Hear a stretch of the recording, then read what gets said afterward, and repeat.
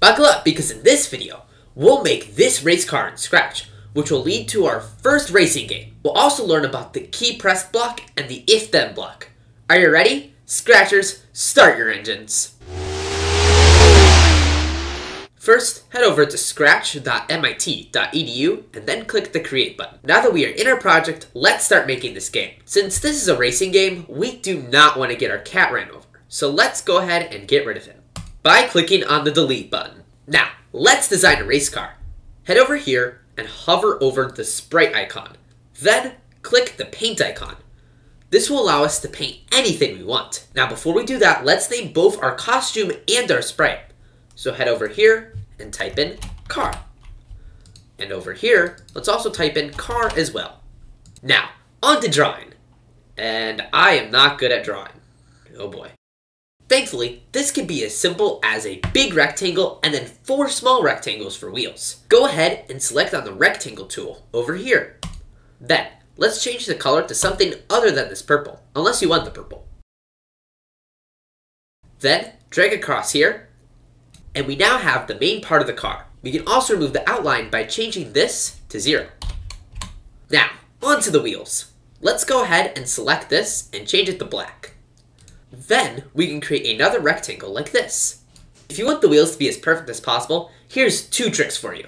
Number one, using the pointer tool, you can copy and paste. Then the wheels remain the same size. And number two, we can zoom in with this one, and then we can use the arrow keys to move the wheel in fine movements. Then when you're done, just select the equal sign, and it will make the car regular size again.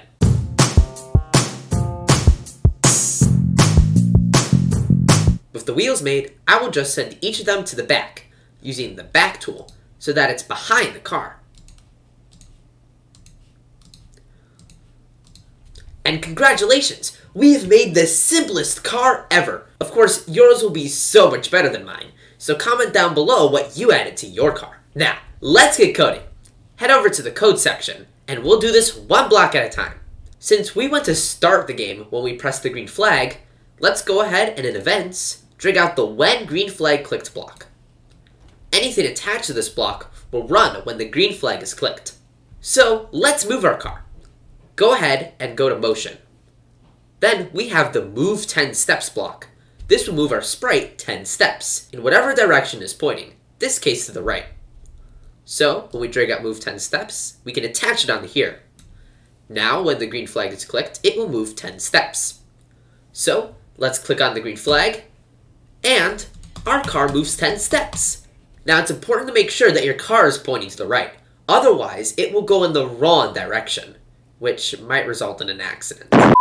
However, we don't want our car to move just once, we want our car to move over and over and over and over again. So, in Control, drag out a forever block. Anything inside of this block run over and over and over and over and over again until the project is stopped with the red stop sign. So all we have to do is drag out the move 10 steps block into the forever loop, which we do like this. Um, okay, so whenever we move one block, any blocks below it move as well. So all we have to do is disattach the forever block, then we can drag in the move 10 steps block, and then reattach it. Now, Let's drag our car to the left like this. This can only be done while editing the project, and not in a mode such as this one. Now, when we press the green flag, our car continues to move to the right. We are now going places! However, in real life, it would be very scary if cars started moving automatically. Like, very scary. Therefore, we only want to move the car if we're touching the up arrow. So, let's add this. First off, we need to find the block that will do the job. So, motion, look, sound, events, control. How about sensing? Here, we have a key space press block here. Does it have an up option? Yes, it does. But this doesn't look like a normal type of block. So I think we have to add some other block to go along with it.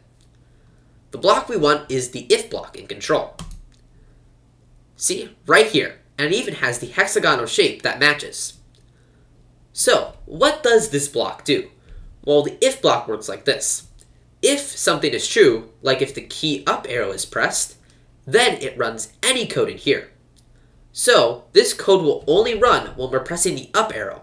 If we're not pressing the up arrow at all, none of the blocks here run. So all we have to do is drag in the key up arrow press block, then the move 10 steps block, and then drag it back in. Now, the moment of truth. When we press the green flag and press the up arrow, the car moves. Now, we also want our car to go in reverse or move backwards. This functionality will be done using the down arrow. Since the code is very similar to what we just made, let's right click and select duplicate. Instead of the up arrow, we want the down arrow. But we want to move backwards 10 steps. Is there a block for that? Doesn't look like there is. Instead, we're going to have to rely on a negative number, specifically negative 10, which is minus sign and then 10. The way this works is while positive numbers will drive you forward, negative numbers will go backward, kind of like the number line. If you think about it, if we go to the right of the number line, the numbers are positive, but if we go to the left of the number line, then the numbers are negative. Now, let's test our code and see if it works. Green flag again. Moving forward works fine. Can we move backward? And we can. Congratulations. Now, there is very little room for our car to move. So let's change the size of the car. This can be done in the look section with the set size block. Let's drag it to the top of the script. Now, let's set the size.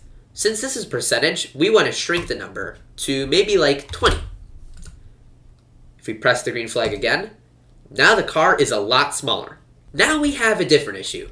If you press the up arrow again, wow, our car is going really fast, so maybe we should slow it down.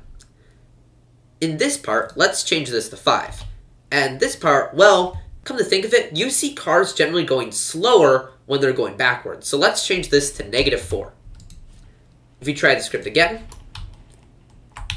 the car is a lot slower now. Finally, let's code our car to churn. Since the script is just similar to the two we just made, let's right click on the down arrow section and duplicate. Then instead of the down arrow, let's change this to the right arrow. Then instead of moving a number of steps, we want to churn. In motion, we have the turn right 15 degrees block. So let's replace the move negative 4 steps. Like this. So all we have to do is test our code again. And we can do donuts! Great! So we do not want to do donuts, so let's change this number to smaller number, such as 5. Now that's a lot better. Finally, we're almost done. We just have to code the left arrow now. Let's right click and duplicate. Then, let's select the left arrow. Now, there are two ways to make our car turn left. There is a turn left 15 degrees, but you also may have the idea of setting this to negative 5.